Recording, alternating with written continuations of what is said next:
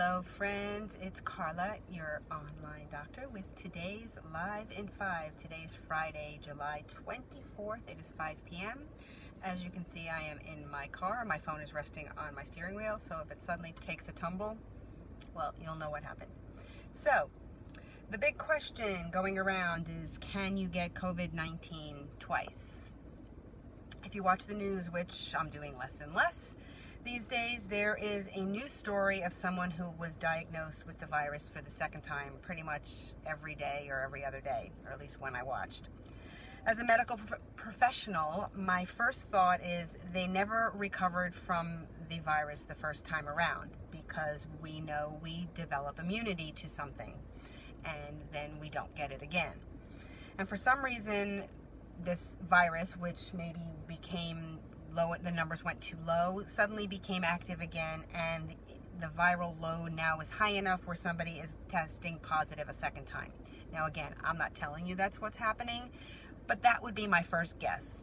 Okay, again, based on what I know today, this is my opinion at the moment. Okay, or they never developed good enough antibody response or immune response because antibodies may not be the end all be all for this virus to attack the virus in the first place. So when they were re-exposed, they their immunity just wasn't sufficient to create an adequate response. Now, I could possibly give you a few more maybe explanations, but the truth is we just don't know. Experts are trying to understand how long people are protected from the virus after they've already recovered. Two recent studies, one from China and one from the United Kingdom, found that antibodies that fight against future infections faded within a few months. We're going to talk more about immunity next week. The China study found that the neutralizing antibodies faded in eight weeks in both asymptomatic and symptomatic people. The United Kingdom study showed it happened in less time, but the immune response was more durable in patients that had a more severe infection, meaning they had worse symptoms. Now, experts are saying that antibodies are not the whole story and that other parts of the immune system might still offer some or a big degree of protection. So stay tuned for next week because I'm going to talk a lot about that. Now, based on research from other coronaviruses, experts say immunity may last 6 to 12 months for common cold causing coronaviruses. Now, the coronavirus causing MERS resulted in immunity for several years. Research is trying to determine if COVID 19 is more like MERS or more like the common cold coronavirus. So experts at this time are saying it is possible that reinfection may occur, so anyone that has recovered should continue to exercise caution, practice social distancing, wear masks, and wash your hands. Meaning, you're not out of the woods if you had it once.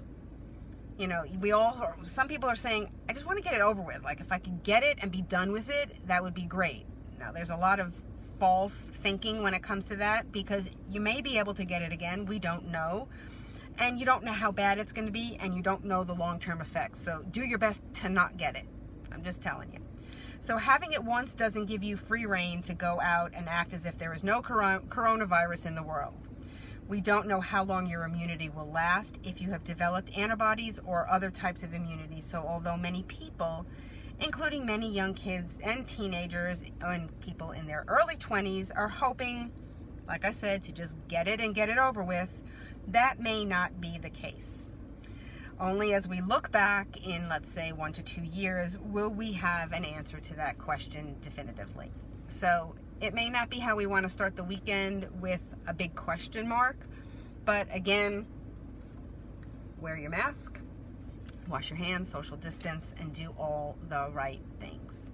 On that note, I hope you guys have a lot of good stuff planned this weekend. We do. You will see it as I post it over the weekend. Have fun, and I'll see you on Monday for another Live in 5.